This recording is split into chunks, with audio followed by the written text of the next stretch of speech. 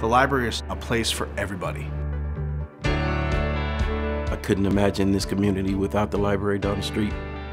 The South Euclid Lyndhurst branch is very special to me. Everything from you know, book clubs and current events conversations to virtual bowling leagues. It's easy, it's fun, it's inspiring. No matter who you are, no matter who you are, from old to young to whatever culture you are, the library has something for everyone.